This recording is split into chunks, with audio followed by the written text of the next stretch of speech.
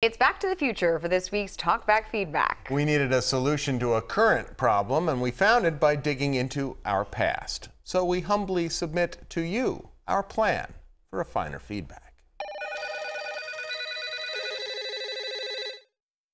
Welcome to Talkback Feedback. You know, with all due respect, I think the heat is getting to some of you. I mean, is it just me, or has there been a lot of name calling in Talkback Town this week?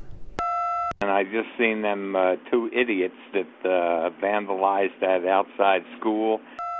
This is for the boneheads at PennDOT with their fresh oil and chip machine. It's getting so bad, some callers are even taking to bleeping themselves out. I say, make those little beep go back to school all year round. They're not farmers no more. So clearly, there's a problem here leave it to a caller from Scranton to come up with a solution.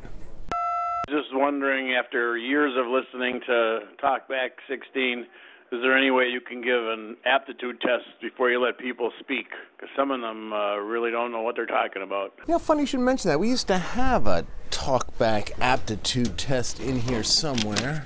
Oh, yep, here it is. That's a relic. But we used to give this test to every caller.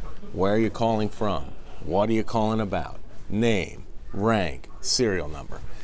Then we got to thinking, you know, we here at Newswatch 16 have the best callers in the talkback galaxy. I mean, you ladies and gentlemen are the envy of the entire civilized talkback world. So if there's any group that certainly doesn't need an aptitude test, it would be the group that we have right here in Newswatch 16. I think once it reaches a certain temperature, you ought to be able to run around naked. I think when it gets so hot and humid like it is out now, you should be able to throw your clothes off and run naked.